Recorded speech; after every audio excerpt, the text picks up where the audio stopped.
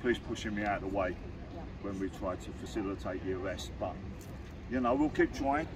I was going to say you're going to keep coming to these events. Absolutely, absolutely. If I'm not at these events and these good people, there will be a contingent from the um, good citizens of the United Kingdom who are against this kind of grooming of children. Is there quite a large group of you who are you know? Yes, yes, all over the country. Yes. So you plan to do a citizen's arrest.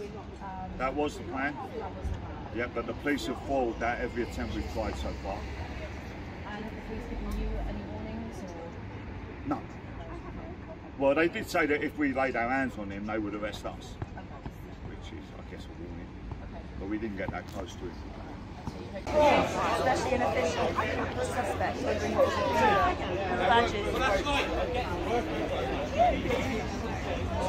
Drag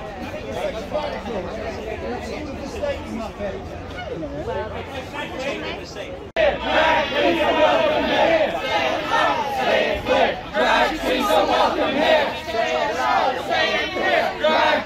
welcome here. Say it loud, say it clear. Drag queens are welcome here.